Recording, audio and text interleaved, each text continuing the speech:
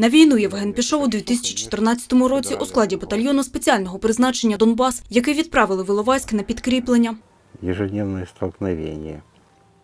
Щоденні сутички були. Наші штурмові підрозділи намагалися прорватися в центр, і там все було. Дуже жорсткі бої, вуличні загалом, і щоденні артилерійські обстріли по нам. Під час чергового нічного обстрілу 24 серпня отримав тяжкі поранення. Вночі, так би мовити, вітали нас бойовики з Днем Незалежності, і перший град впав мені під ноги. Обпекло половину тіла, увесь лівий бік, роздробило ліву руку, знесло половину черепа. У мене титан стоїть. Уламками повибивало очі. Це око у мене скло, а це вже переробили. Євгену провели вісім операцій. Його тіло збирали протягом дев'ятьох місяців. В Мечникова зібрали голову, в Києві зібрали око, відновили. Деякі європейські клініки відмовилися, напевно, боялися, бо ніхто не був упевнений у позитивному результаті. Всі прогнозували, що я взагалі буду сліпий, бо мені ліве око випалило відразу, а з правого вже діставали уламки і відновлювали його. Зробили. Бачу, погано, але бачу. Те ж саме і з головою. Окрім того, що у мене немає потиличної та лобової частини, там титан зараз стоїть. Сам череп зібрали. Він розколений був.